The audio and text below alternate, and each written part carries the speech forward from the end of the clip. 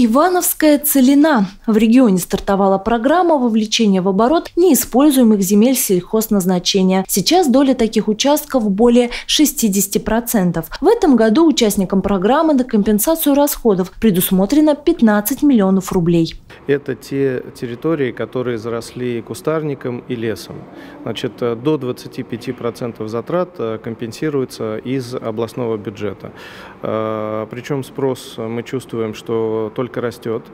Э, уже подано заявок на 2, 2, 2 с лишним тысячи гектар, и мы думаем, что в этом году объем э, земли, который будет, э, объем площадей, которые будут участвовать по этой программе, получать субсидию, будет порядка 3,5-4 тысяч гектар.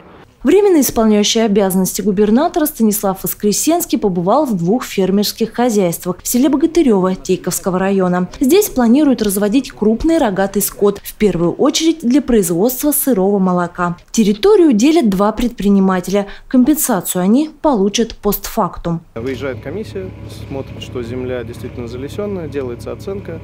Э, Понятно. И после этого где производятся работы и отчитываются по документам что работа произведена.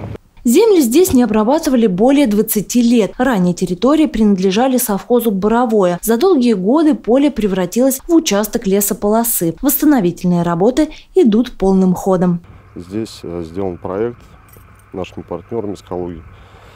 А, почти на 300 голов молочного.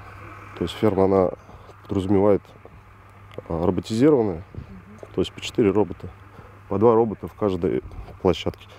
Фермы в Богатыреве задумали сделать по последнему слову техники. Оборудование и даже скот привезут из-за рубежа. Переменчивая валюта, увы, заставляет предпринимателей переплачивать. Зато, как уверяют специалисты, продукция будет более качественная. Мы не хотим зацикливаться да, на сдаче самого молока, ну, то есть потому что и стоимость молока сейчас не очень, скажем так, хорошая да, на данном этапе. Вот. То есть хотим поставить переработку свою молочную. Благодаря современным технологиям, которые планируют сюда внедрить, на производство не будет влиять пресловутый человеческий фактор. Для этих ферм будет достаточно семи работников. Мария Попова, Денис Денисов, РТВ Иванова.